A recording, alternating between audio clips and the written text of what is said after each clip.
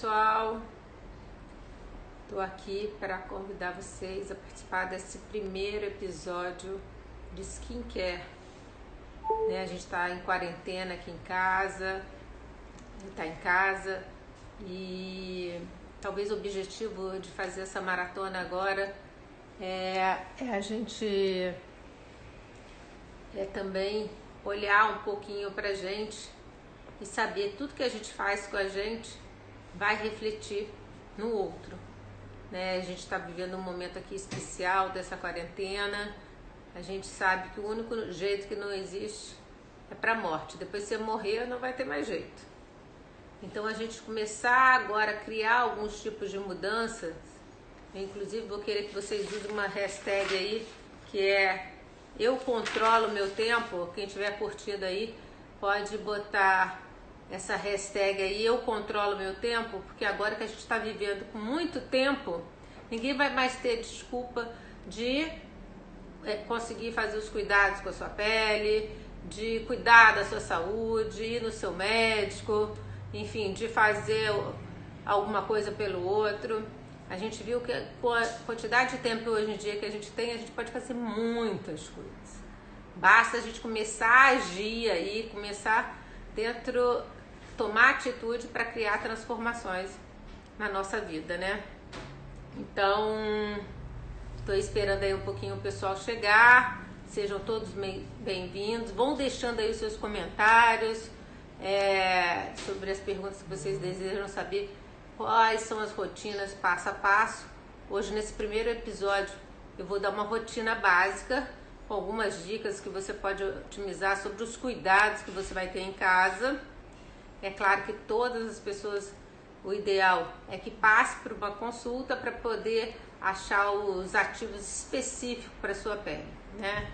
Então, nesse momento que a gente está aqui, é, eu vou compartilhar o que eu sei e também estou aberta a ouvir a opinião de vocês e, e tirar as dúvidas de vocês para também ver o que, que vocês podem estar tá usando em casa. Às vezes tem gente que não está podendo sair de casa ou então está com alguns cosméticos que também fizeram estoques, mas agora nesse momento elas não sabem o que, que vai usar.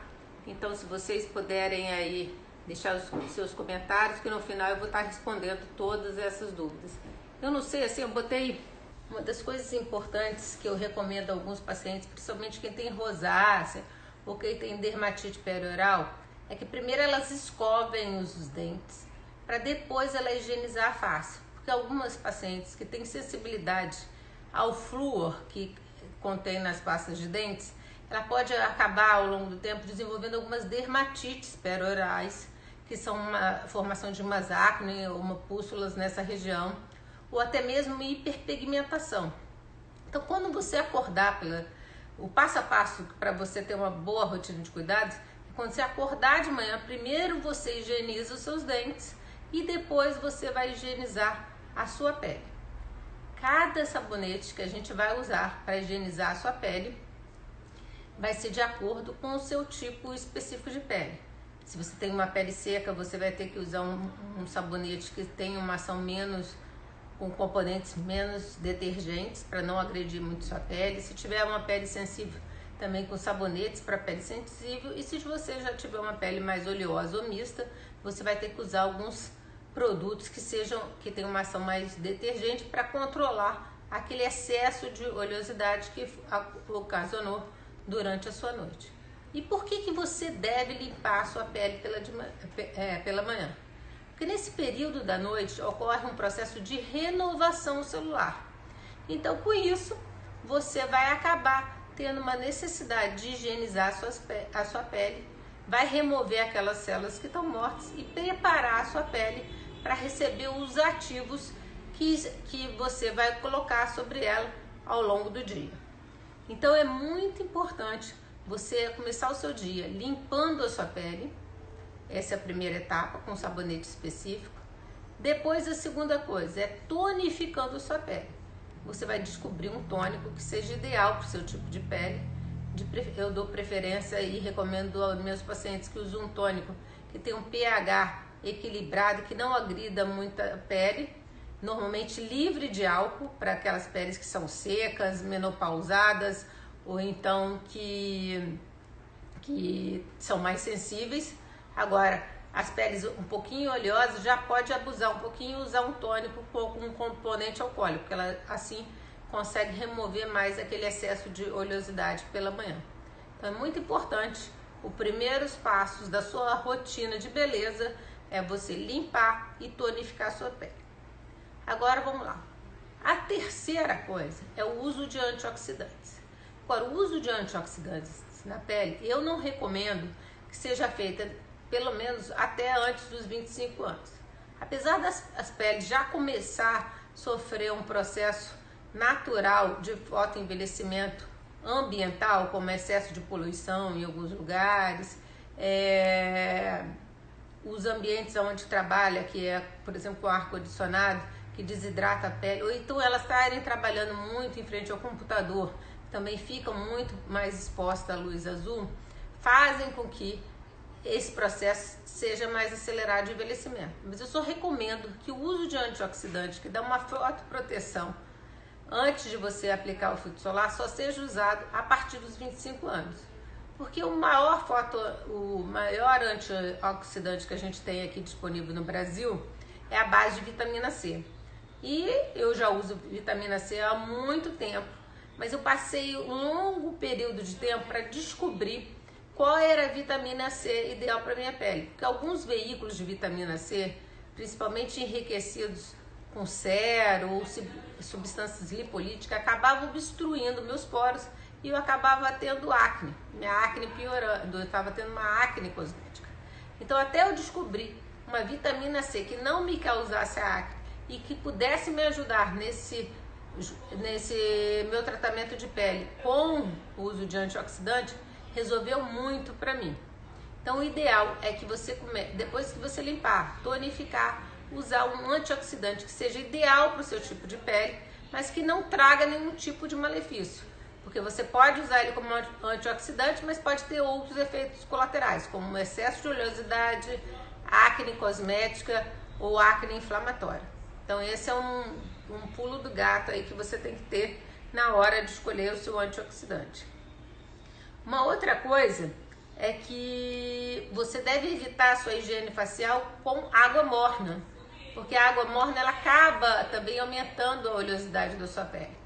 Então, na hora de você higienizar a sua face, é importante você higienizar com água fria, uma água fresca, porque assim acaba fechando os poros e aí você tem uma maior efetividade na sua higienização.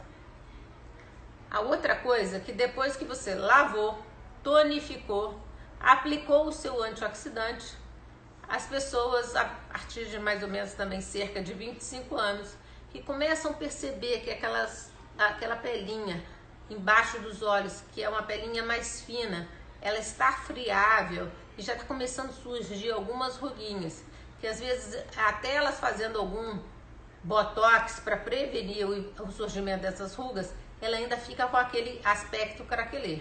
Então elas, elas devem usar hidratante específico para essa região. Não só para a área dos olhos, para evitar aquele aspecto craquelê, como também nas asinhas do nariz. Então isso é uma coisa bem bacana que vai otimizar os seus resultados e os seus cuidados em casa para você ficar com uma pele bonita. Aqui a pele bonita ela precisa de ter uma rotina.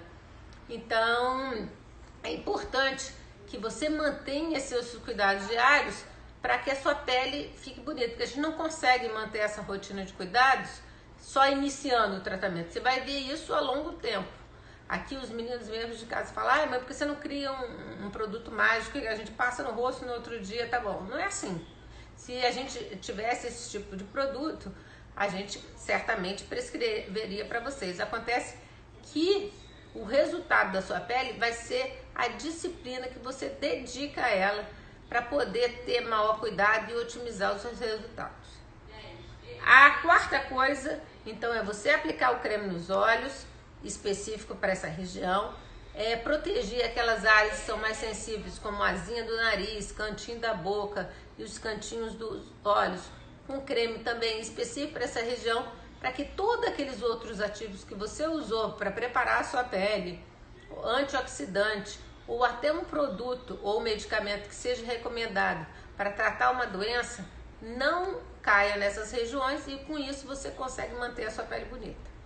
Uma coisa bacana é essa, se você usa um medicamento para acne, para rosácea, para dermatite seborreica, é, para melasma, para hiperpigmentação pós-inflamatória, a conduta da sua rotina de, de cuidados com a pele inicialmente vai ter que ser lavar, tonificar, aplicar esses produtos medicamentosos, que são os dermatos cosméticos, aqueles que vão tratar a sua doença, deixar agir mais ou menos por cerca de 15 a 20 minutos, para depois você usar os seus cremes cosméticos, como os, os, os cremes de uso diário, o seu hidratante, o seu filtro solar, o creme para área dos olhos, todos aqueles que já foram recomendados. Depois você faz toda essa rotina, aí sim você vai aplicar o seu filtro solar. Agora, como a gente está ficando muito tempo em casa, na frente do computador, na frente do celular e na frente da televisão, esse filtro solar, na hora que você for aplicar, você tem que lembrar de duas coisas. Seu filtro solar tem que estar com proteção UVA, UVB. E se ele não tiver proteção de luz azul, que é essa luz que dá do celular, que a gente sabe que ela é responsável por inúmeras causas de queixas hoje no consultório, como dermatite, urticária, hiperpigmentação localizada ou até agravamento de melasma, você vai precisar usar um outro filtro que a gente já tem aqui no mercado que te protege contra essa luz azul. É importantíssimo você também estar tá foto protegida, mesmo que esteja dentro de casa, principalmente contra a luz indireta e contra a luz azul. Que aí você vai evitar o surgimento de manchas, evitar essa hiperpigmentação residual, principalmente na área do busto, na área da testa, na área das regiões malar e no queixo, que são áreas de incidência de luz. Então essas áreas acabam ficando mais expostas à luz e tende a, a ter mais hiperpigmentação e inflamação. Você vai precisar usar um filtro solar que tenha uma ampla cobertura. Eu recomendo normalmente que os pacientes usem filtro solar à base de que tenha toda essa cobertura, mas que também eles são de tonalidade básica. Você vai escolher, é, aliás, são color, né? Você escolhe a pigmentação quando você for na farmácia que seja de acordo com sua pele para poder ter uma boa cobertura. É, ah, o filtro solar você deve reaplicá-lo ao longo do dia. É muito importante que você reaplique pelo menos de 3 em 3 horas. É importante também que para uma boa saúde da pele, os níveis de vitamina D estejam os níveis ótimos. Então, pela manhã, depois de você aplicar o filtro solar, é ideal que você se exponha ao sol pelo menos cerca de 10 a 15 minutos para melhorar essa absorção de vitamina D, que não só vai aumentar a sua imunidade celular, como também vai melhorar a saúde da sua pele. Então, por que, que eu passei esses passo a passo que são super importantes para gente? Que a limpeza completa né, da, da pele, ela vai remover sujeira, suor, oleosidade, a maquiagem e vai preparar a sua pele para receber todos esses ativos que foram prescritos para vocês, para vocês manterem os seus resultados. Ela não vai tratar uma ruga, um bigode chinês ou uma flacidez da pele se ela já tiver instalada, mas ela vai cuidar, ou pelo menos ela vai manter esses cuidados por muito, pra, por muito mais tempo para você manter uma pele bonita, clara, livre de hiperpigmentação. Então essa pele, quando ela está limpa, ela absorve muito mais esses ingredientes. É como se você já removesse aquelas células mortas e abrisse canais pra, para penetrar esses ativos e aí com isso você ficar com uma pele mais bonita. Agora a proteção solar é muito importante seja tanto nos dias que você está exposto ao sol, como nesses dias que você está em casa também, para te proteger contra a luz azul indireta que eu te falei, na frente do computador, no celular e na televisão. É, alguns cremes pela manhã já existem com filtro solar e com substância antioxidante. Às vezes você encontra no mercado esses filtros solares com essa ação tripla então é bacana você procurar e pesquisar, em vez de ser recomendado pelo seu tipo de pele, que eles vão ter a proteção UVA, UVB, tem proteção contra a luz azul, tem uma ação antioxidante e ainda tem esse efeito color base que dá um efeito de maquiagem e deixa sua pele mais bonita ao longo do dia. Por que é importante tonificar a pele? Porque depois que você higienizou a sua face de acordo com um sabonete específico, é bacana você tonificar porque você passa a equilibrar o pH da sua pele para o pH natural. Porque às vezes se usa um sabonete que é um pouquinho mais ácido, ele vai ficar um pouco, a sua pele vai ficar um pouco mais ácida. Aí você precisa um, dar uma alcalinizada. E o tônico, ele mantém esse seu pH, que é o pH fisiológico da nossa pele, e aí com isso ele protege mais a nossa barreira lipídica, né, a barreira de proteção da pele, evitando infecções. Agora, uma coisa importante, você não deve exagerar nesse período com excesso de limpeza, excesso de esfoliação, que vão interferir na barreira de proteção da sua pele e vão acabar abaixando sua imunidade, também criando um, um caminho de proliferação não só de bactérias, de fungo ou até surgimento de infecções secundárias.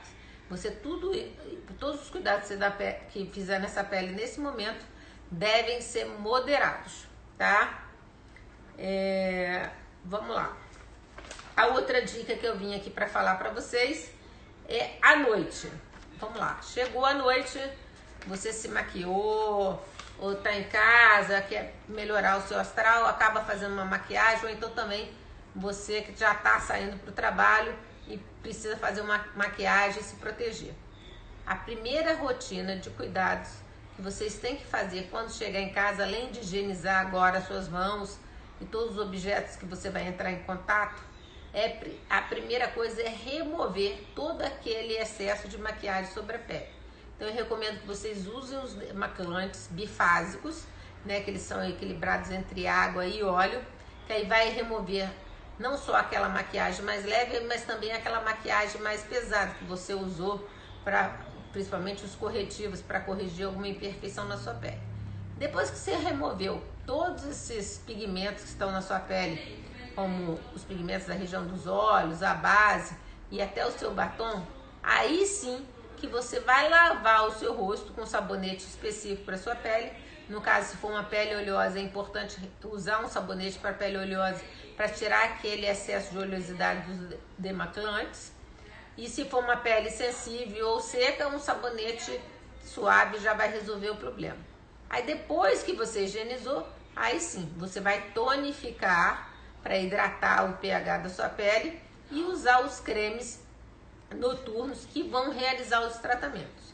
Normalmente, na minha rotina de cuidados com meus pacientes, eu procuro usar um creme esfoliante e um creme nutritivo. Eu nunca deixo que o meu paciente fique usa, usando um esfoliante. É, eu nunca uso um esfoliante é, direto para rotina. Normalmente eu recomendo que meus pacientes usem um esfoliante e usem um creme, alterne com creme nutritivo. Porque hoje em dia a gente sabe que a barreira de proteção da nossa pele é muito importante. Então não adianta você agredir a sua pele demais, porque você acaba criando uma reação inflamatória. Então, tudo que você faz, se estiver agredindo muito, esfoliando, tentando tirar mancha, brigando com sua pele, acaba a sua pele piorando muito.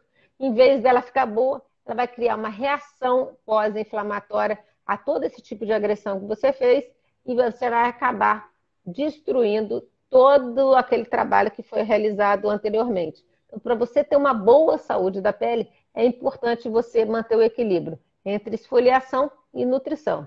E hoje em dia a gente tem cremes, inclusive, que tratam dessa nutrição celular durante a noite inteira. Depois que você limpou, tonificou, você aplica esse nutritivo que ela vai tratar das suas células durante a noite toda. E no outro dia, você usa o seu esfoliante, que é o seu, o seu creme noturno, para remover as células mortas, tirar as impurezas, ajudar a fechar os poros e tratar daquelas rugas fininhas que vão também, ao longo do tempo, sendo acumuladas. É... Então, você removeu a sua maquiagem com demaquilante, você vai limpar a sua pele com sabonetes específicos para ela, vai usar o seu creme é, de recomendação noturna para o seu tratamento. Se você também está usando algum creme para tratar acne, é, dermatite seborreica, rosácea, você deve, antes de tudo, usar esses ativos primeiro, antes de você usar os seus cremes anti-envelhecimento. Eu recomendo que você coloque esses ativos para controle de oleosidade, controle da acne, controle de rosácea antes, espere uns 15 a 20 minutinhos para depois aplicar esses outros ativos. Ah, mas doutora Mônica, posso combinar tudo no mesmo dia? Pode combinar tudo. A gente sabe que essa combinação de dermocosmético acaba melhorando, que um acaba equilibrando o outro. O que acontece é que alguns dermocosméticos eles levam um pouquinho de tempo para ser absorvido. Então, quando você massagear, se eles têm uma ação lipolítica, eles acabam penetrando na pele, essa barreira de pele é quebrada, e aí eles vão agir naquela região, e aí sim você pode aplicar os outros ativos. É... E como é que eu devo criar uma rotina de cuidados? Então, essa é uma pergunta que vivem me fazendo. Ah, porque existe três tipos de paciente. Aquele que é extremamente viciado, exagera nos cuidados.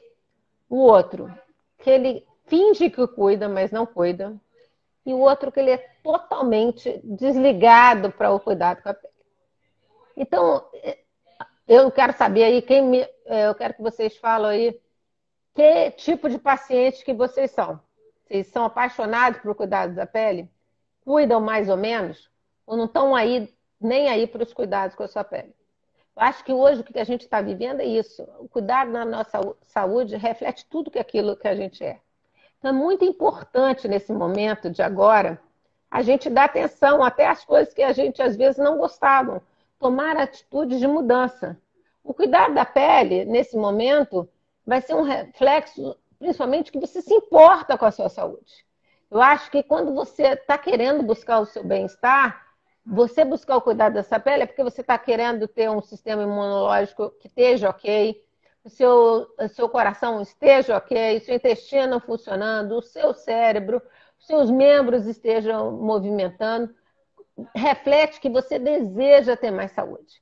Normalmente, quem procura um tratamento dermatológico, a não ser quando a doença esteja muito grave, mas um tratamento preventivo, principalmente de surgimento de novas lesões, é porque ela almeja mais saúde. Ela está em busca da prevenção. Ela prefere não ficar doente ou até não fazer com que o problema dela se agrave do que ela ter que pagar um preço de estar tá doente, com a pele inflamada ou doente.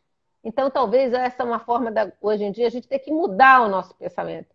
Porque vocês podem até achar que é caro, mas é caro você cuidar da saúde pagar 100, 200, 300, 400, 500 reais que seja, para tratar da saúde da sua pele. Mas o que, que vai ser pior?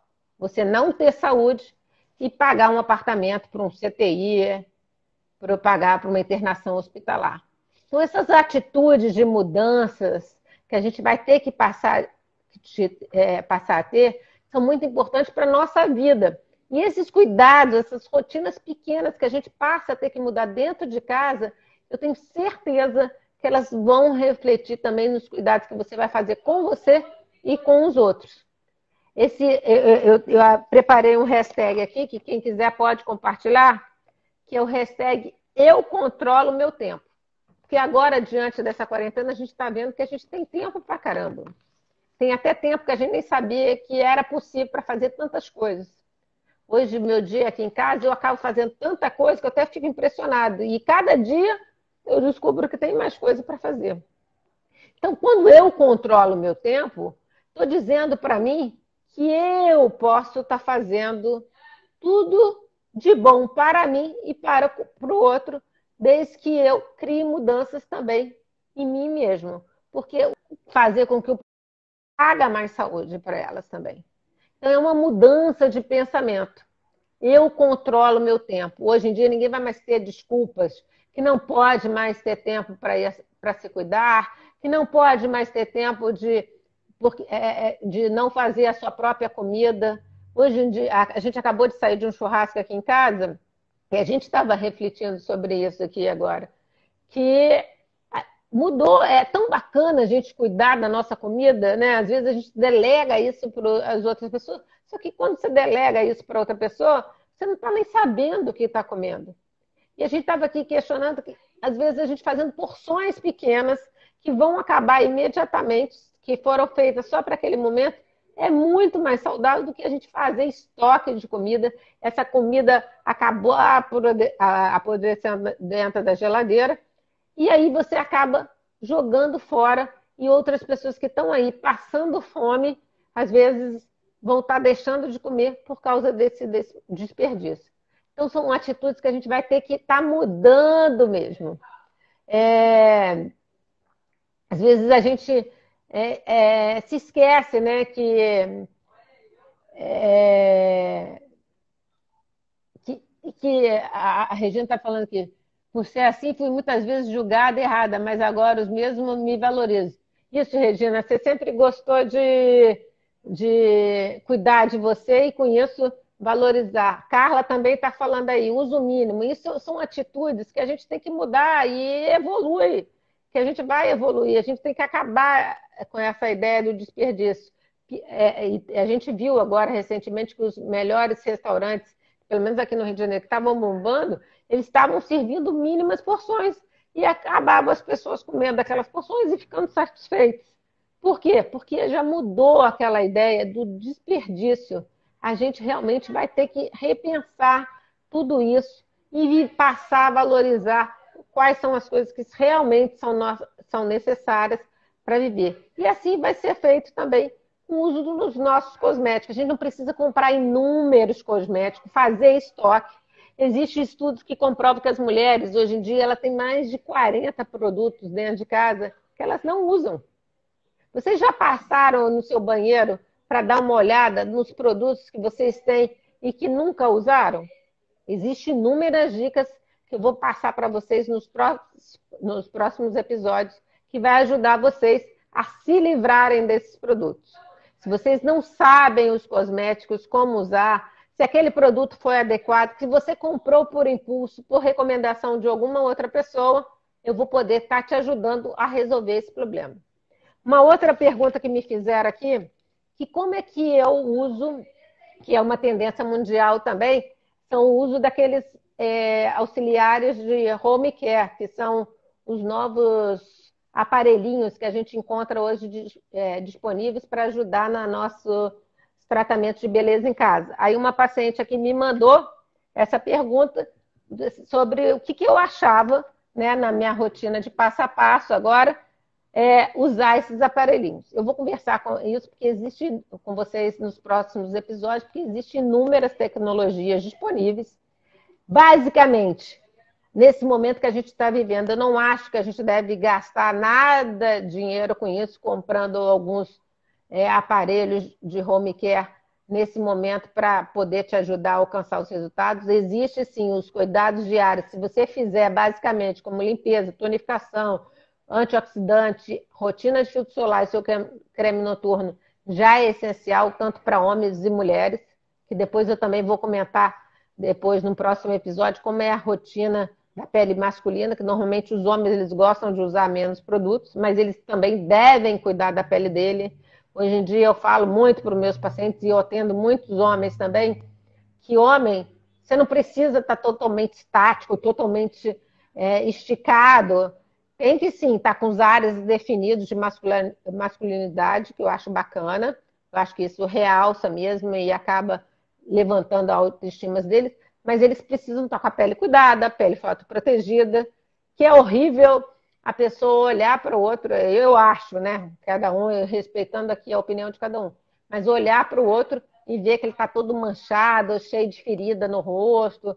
Então, são coisas assim que a gente tem que manter, pelo menos, ou passar para o nosso paciente que ele tem que ter uma toalete. Higiene toalete eu acho importantíssimo. Você tem que cuidar, pelo menos, para se parecer, para parecer que está saudável e que você cuida de você.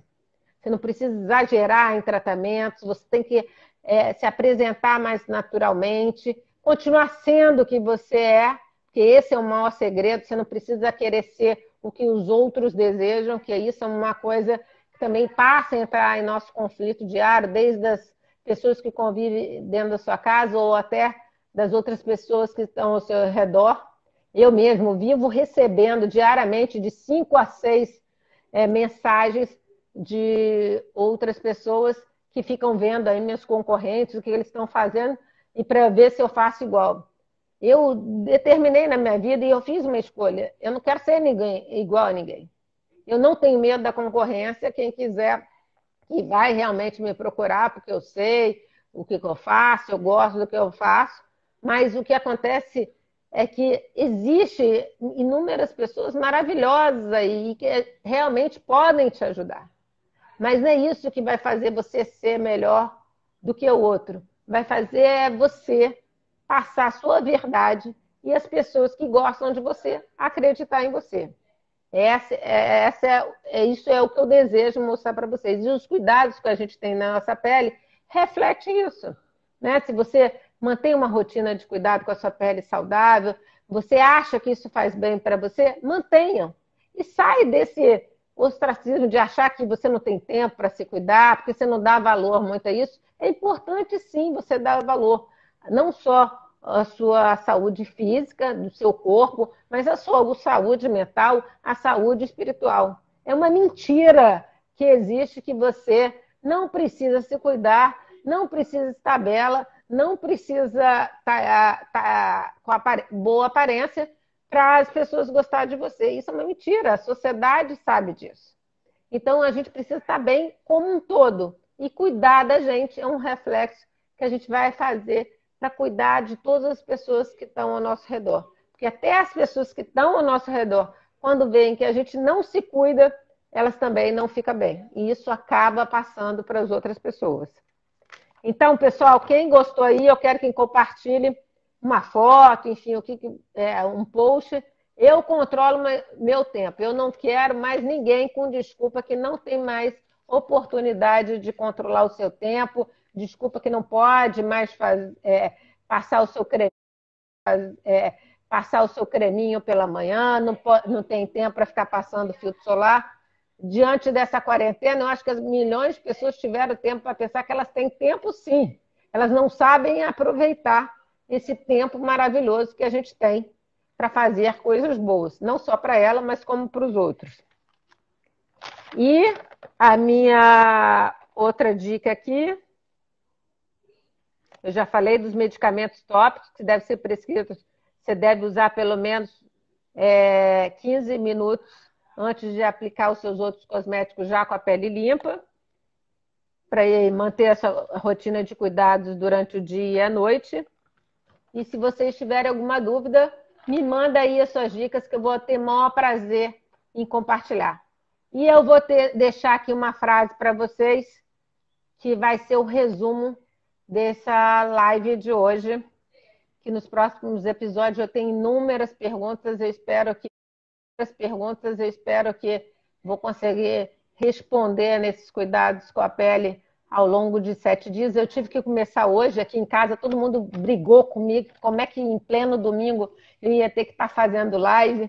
Eu estou até trocando as palavras aqui. Liga aí o Spotify, eu falo, liga aí a live, porque eles já estão vendo que eu já estou até vivendo no automático.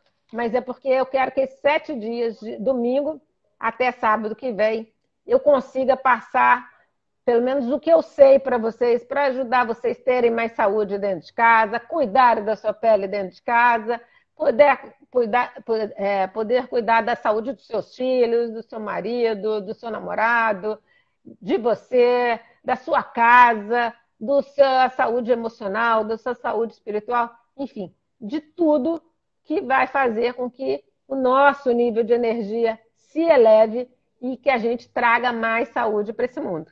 Então, eu vou terminar essa live aqui é, com a frase que eu acho que vai resumir esse nosso primeiro episódio. Se você quer a mudança, comece por você mesmo. Você deve ser a mudança que deseja ver no mundo. Essa é a frase que vocês que eu quero que vocês levem para casa hoje. Se você quer a mudança, comece por você mesmo. Você deve ser a mudança que você deseja no mundo. Compartilhe aí. Um beijo para todas e obrigada pela participação de todas vocês. Amei que vocês estiveram aqui hoje. Beijo para todas. Beijo, beijo, beijo.